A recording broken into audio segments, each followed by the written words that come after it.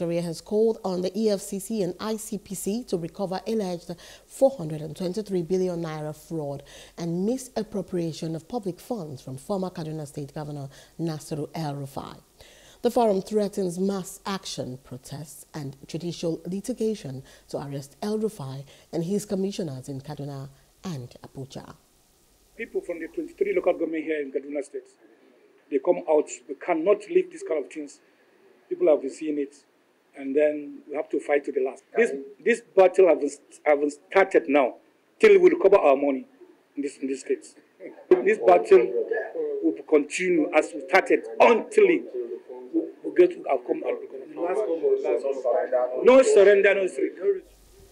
The forum called on authorities and anti-corruption graft to place the governor, the former governor, his family and indicted commissioners on Interpol's watch list to prevent Yahaya Bello episode in Nigeria and called for democracy lovers to rally around Kaduna State Governor Uba Sani and the Assembly.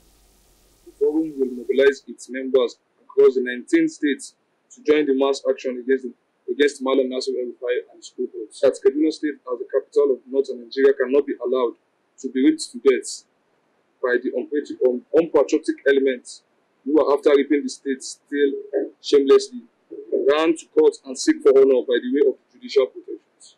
Not why Malam Nasir El-Rufai has quickly forgotten how he turned the judiciary in the state to a good-for-nothing institution, while he had sweat away for eight years as the Kaduna State governor wanton hardship he has unleashed to the people of the Kaduna State by demolishing their houses, churches, and mosques, schools.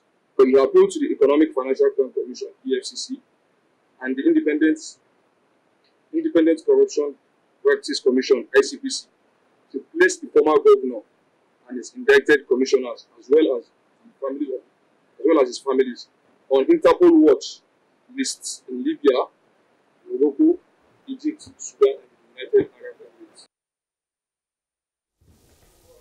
Hello, hope you enjoyed the news. Please do subscribe to our YouTube channel and don't forget to hit the notification button so you get notified about fresh news updates.